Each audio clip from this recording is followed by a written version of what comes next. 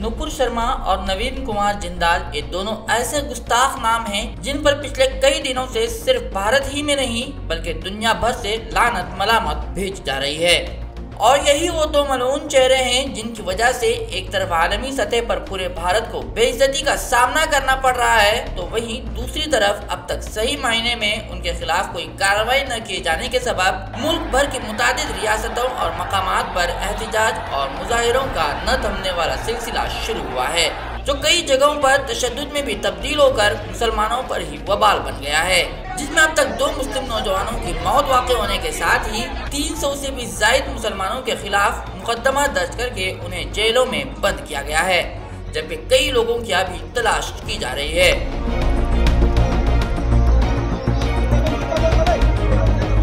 लगती नहीं है। गेम से मेरा बच्चा को गोली मारा गया है। ऊपर से मारा गया है मेरा बच्चा को गोली। सब बोल, मेरा बच्चा अकेला तनहा था वहाँ। उतनी भीड़ में पूरा सन्नाटा सन्नाटा में केवल मेरा बच्चा। अकेला था, क्या बिगाड़ा था मेरा बच्चा? कुछ भी नहीं, कभी भी नहीं, किसी का नहीं। मेरे बच्चे का माँ बाप का इकलौता बच्चा मेरा मुझे छीन लिया गया। मेरे से छीन लिया गया मेरा बच्चा को। कौन हिम्मत से मार दिया? कैसे मारा वो? क्यों मारा? सवाल है मेरा। एक माँ का सवाल है।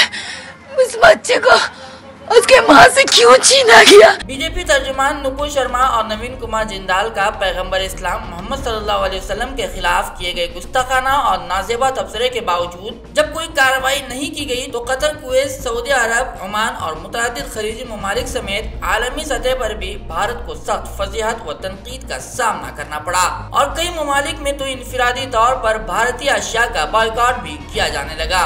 हती के भारतीय सफीरों को भी तलब करके अरब ममालिक ने सख्त मजम्मत करके अवामी माफ़ी की भी उम्मीद ज़ाहिर की और कहा कि ऐसे इस्लामोफोबिया बयान के बावजूद सजा न देने से लोगों में तासुब और नफरत को बढ़ावा मिलेगा। सख्त फजियात और तनकीद के बाद हुक्मरान पार्टी बीजेपी ने नुपुर शर्मा को छह साल के लिए और दिल्ली बीजेपी के मीडिया सेल के चीफ नवीन कुमार को हमेशा के लिए पार्टी से मुअत्तल करने का ऐलान किया और साथ ही सफ़ाई देते हुए कहा कि पार्टी ऐसी किसी भी सोच के बिल्कुल खिलाफ है, जो किसी समाज या मज़हब की तोहिन करती है। साथ ही मुतनाज़ तबसरे को फ्रिंज एलिमेंट यानी की शरारती अनासर की सोच ऐसी ताबीर करके पल्ला झाड़ने की कोशिश की तो कई लोगों ने कहा की नुपुर शर्मा बिल्कुल भी फ्रिंज एलिमेंट नहीं है।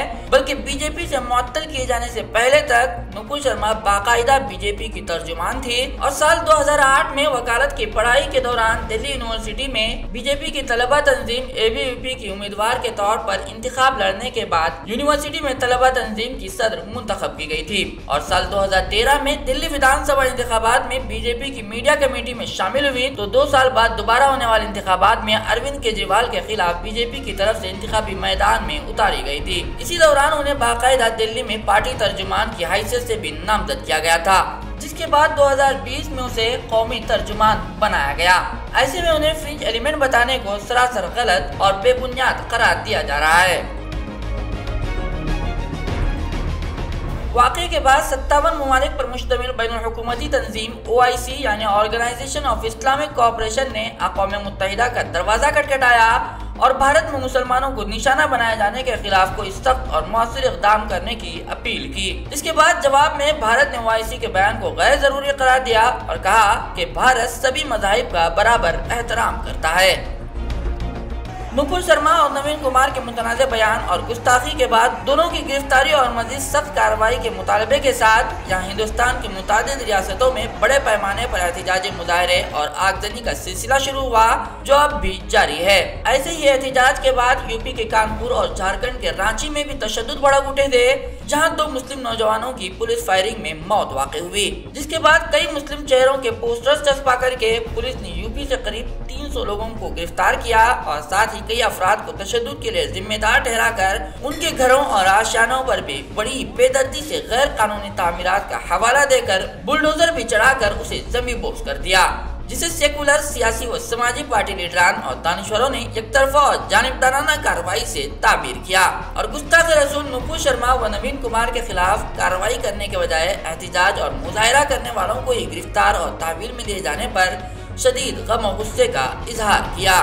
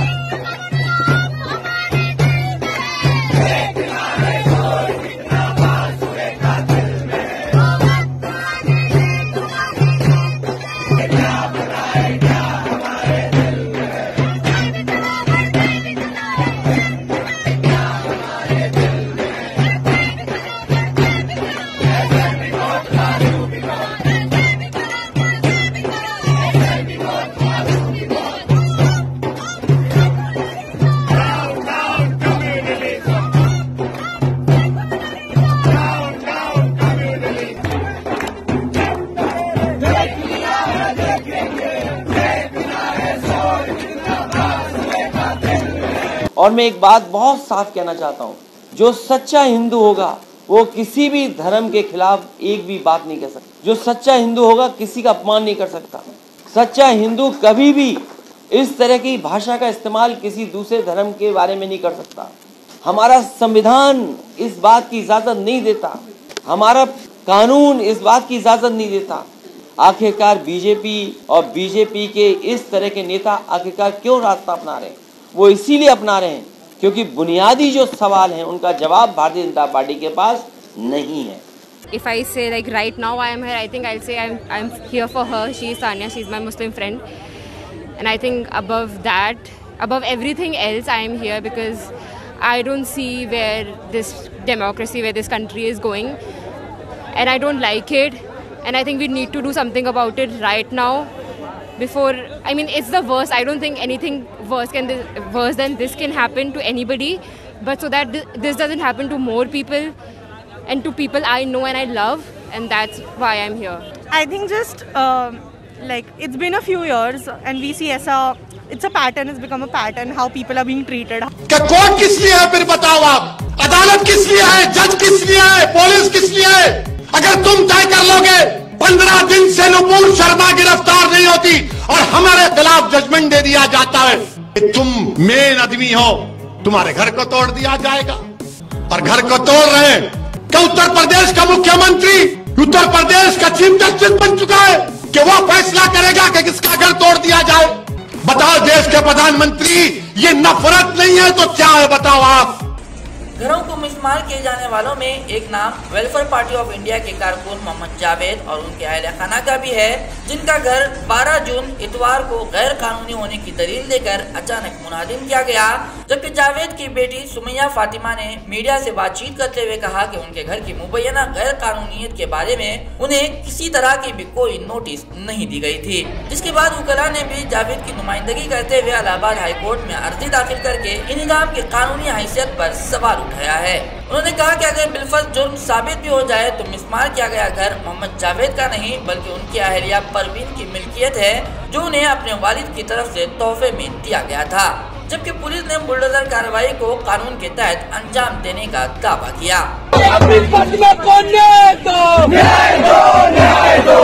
हमारे पिताजी को तो एकदम से फ्रेम करा गया है अचानक से, क्योंकि इससे पहले कभी उनका किसी चीज़ में नाम भी नहीं था जैसे उन्होंने बताया। और हमा, हमारे अब्बू हमेशा से प्रशासन के, हमेशा कोऑपरेटिव रहे हैं। मतलब कभी ऐसा नहीं हुआ है कि उनको किसी भी चीज़ के लिए पकड़ा गया हो या फिर कभी किसी चीज़ में उनका नाम भी नहीं रहा है। बल्कि वो हमेशा साथ में रहे, और ऐसा भी रहा है कि अक्सर एसपी लोग हमारे घर भी आए चाय वाय भी पिए लेकिन अचानक से उन लोग ने एकदम से रंग बदल लिया अपना। और अबू पे अचानक से कार्रवाई कर दी एक दिन में। इससे पहले ना ही कभी कोई खबर दी और ना ही हमारे घर के बारे में भी कभी किसी ने उस दिन ये वहाँ गए थे? नहीं वो उस दिन पूरे दिन घर में थे घर के पास वाली मस्जिद में नमाज़ पढ़ा था और आकर हम ही लोग के साथ सब लोग ने साथ में खाना खाया था। शाम में वो नमाज़ पढ़ने गए थे मगरिब की फिर उसके बाद वो आने में थोड़ा देरी हुई थी। उसी वक्त पुलिस आई और उनको घर के बाहर आके खड़ी होकर ये पूछ रही थी जावेद साहब को भेजिए। तो वो घर पे नहीं थे तो हम लोग ने बोला कि वो घर पे नहीं है। तो हम लोग को मुस्कुरा के देख कर कह रहे हैं कि नहीं नहीं, देखिए देखिए, होंगे, वो घर पे होंगे। फिर उसके बाद जो है, कह रहे हैं कि हमारी उनसे बात हुई, बाकायदा फ़ोन घर पे था, वो मतलब झूठ बोल रहे थे साफ़ साफ़ फिर उसके बाद जो है, अबू उसी वक्त आ भी गए, क्योंकि वो पास ही वाली मस्जिद में गए थे, पूरे दिन घर ही पे थे, फ़ोन छोड़ कर गए थे, बगल वाली मस्जिद तक जाना था।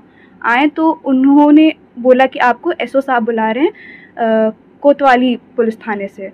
तो अबू ने बोला ठीक है रुकिए हम आ रहे हैं। तो अबू अंदर आए। अबू क्योंकि चप्पल में गए थे घर के पास ही जाना था। तो अंदर आए उन्होंने शूज़ पहना उन्होंने पानी पिया और फिर उसके बाद वो उनके साथ जो है स्कूटी से अपनी स्कूटी से चले गए। फिर आप लोगों को कब लेकर गई पुलिस? हम लोग को उनको क्या कह रही थी? वो साढ़े बारह बजे करीब रात में पुलिस आई हमारे घर में और हमने दरवाज़ा खोला। हमें लगा कि हो सकता है अब्बू को छोड़ने आए हों या फिर कुछ भी हो, अब्बू को लेकर आए हों। तो हमने दरवाज़ा खोला तो लेडीज़ पुलिस थी और पीछे मेल पुलिस थी। वो लोग दरवाजे से अंदर आने लगे। हम खड़े थे पीछे दरवाजे के जो एरिया होता है, वहाँ पे हमारी अम्मी खड़ी थी। उन्होंने बोला, आप बेटी हैं? हमने बोला हाँ हम बेटी हैं। पीछे अम्मी थी, उन्होंने बोला कि, वो कौन है? हमने बताया, बीवी हैं। तो उन्होंने बोला, चलिए चलिए, आप लोग को साथ में चलना है पूछताछ के लिए। उस वक्त ऐसा लगा कि अब्बू को अभी लेकर गए थे। हो सकता है कुछ अब्बू के बारे में पूछना हो, क्योंकि अब्बू कभी ऐसे लेकर नहीं गए, पूछताछ के लिए ले जा रहे हैं अबू ही के पास ले जा रहे होंगे। पूछा कहाँ ले जाना है? तो अम्मी उतनी देर में जल्दी से कि अब्बू वहाँ पे चले गए, हम लोग एकदम हड़बड़ा गए कि क्या पूछने ले जा रहे हैं। अब्बू अभी अभी थोड़ी देर पहले गए थे, कोई खबर नहीं पहुँच रही थी हम लोग तक अब्बू की। तो हम लोग उनके साथ चले गए। हम और मेरी अम्मी सिर्फ़ गए, क्योंकि हम ही लोग ने दरवाज़ा खोला खोला तो हम ही लोग को सिर्फ़ लेकर गए। घर में बाकी लोग उस वक्त थे। और हम लोग को ले जाकर वहाँ पे बैठाकर हम लोग से उन्हीं आंटी ने सवाल करा। जो लेने आई थी, कहीं थी कि मैडम को सवाल करना है और वही मैडम थी जिनको सवाल करना था। भवन का जो परवीन फातिमा का मकान है, उसका पुनर्निर्माण हो और उसका पूरा करोड़ों रुपये उनको मुआवजा दिया जाए और विकास प्राधिकरण के अधिकारियों को निलंबित और दंडित किया जाए। आज तक कोई एफआईआर उनके खिलाफ नहीं है। वो कोई ज़मीन जायदाद का धंधा नहीं करते, वो ठीके पट्टे का काम नहीं करते, वो शराब और सिनेमा हॉल के लाइसेंसी नहीं है। एक एक सब छोटा सा धंधा करने वाला, एक जनहित में काम करने वाले अधिकारी, अधिकारियों ने उनको रातों रात मास्टर माइंड बना दिया और अभी भी कुछ, ऐसे कह रहे हैं कि वो व्हाट्सएप मैसेज पास कर रहे थे और एफआईआर में ऐसा कुछ नहीं लिखा है। उनके खिलाफ एफआईआर में व्हाट्सएप मैसेज पास करने और ये करने का कोई ज़िक्र नहीं है।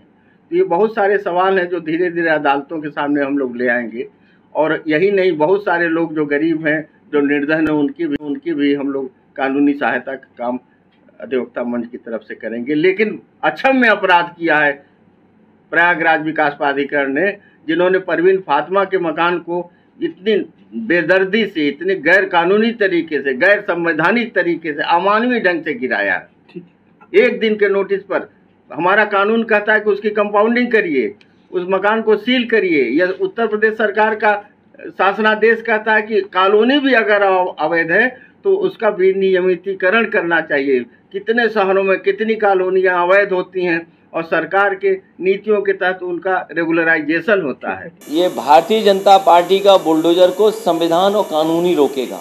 और जिस घर पर बुलडोजर चलाया है, उस घर में पहले नगर निगम के टैक्स दिए जाते थे तो आखिरकार सरकार टैक्स क्यों ले रही थी? और सुनने में ये आ रहा है, कागजों पे ये बातें हैं कि जिन पर आरोप है, उनके नाम पे घर ही नहीं था, उनकी पत्नी के नाम पर था। अब सवाल ये है कि क्या सरकार अपनी गलती स्वीकार करेगी? और क्या जिन अथॉरिटीज ने उस पर बुलडोजर चलाया है, क्या वो घर बना करके देंगे? और ये निदामी कार्रवाई उस वक्त की गई है जब पुलिस ने मोहम्मद जावेद को मुबैना तौर पर पैगंबर इस्लाम के बारे में भारतीय जनता पार्टी के दो तर्जुमानों के तोहिना में तबसरों के खिलाफ प्रयागराज में पुरतशद मुजाहरे करने की साजिश रचने के इल्ज़ाम में गिरफ़्तार किया है। ख्याल है की जुमे को यूपी के प्रयागराज, सहारनपुर, मुरादाबाद समेत मुल्क के कई शहरों में नुपुर शर्मा को फौरी गिरफ़्तार किए जाने का मुतालबा करते हुए एहतजाजी मुजाहरे किए गए थे, जहाँ मुजाहरीन को मुंतशिर करने के लिए पुलिस ने ताकत का इस्तेमाल इस्तेमाल करके लाठी चार्ज के साथ ही फायरिंग का भी सहारा लिया था, जिसमें दो लोगों की मौत वाकई हुई तो कई लोग जख्मी हुए हैं और साथ ही 300 से भी ज़्यादा लोगों को गिरफ़्तार कर लिया गया है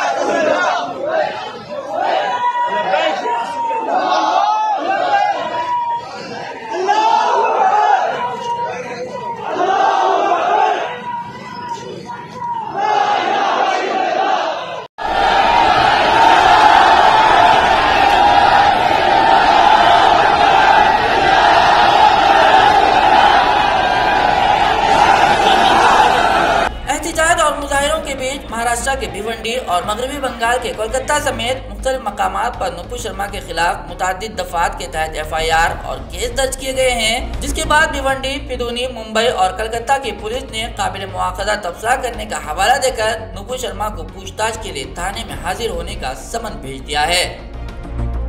इस पूरे मामले को लेकर मोदी सरकार के साथ ही पुलिस की कारकर्दगी पर भी सवाल उठाए जा रहे हैं कि सरेआम मजहबी जज्बात को मजरू करने से एक तरफ़ मुल्क के मुख्तलिफ़ हिस्सों में पुरतशद वारदातें पेश आई तो वहीं दूसरी तरफ़ आलमी सतह पर भी भारत की छवि पर सियाह दाग लगने का सबब बना। इसके बावजूद भी अब तक सिर्फ़ पार्टी से बर्खास्तगी के अलावा मलून नुपुर शर्मा के खिलाफ किसी तरह की भी कड़ी कार्रवाई न करना, सबका साथ, सबका विकास का खोखला दावा करने वाली मोदी सरकार का मुतासिबाना रवैया और चेहरा दुनिया के सामने साफ़ ज़ाहिर होता है।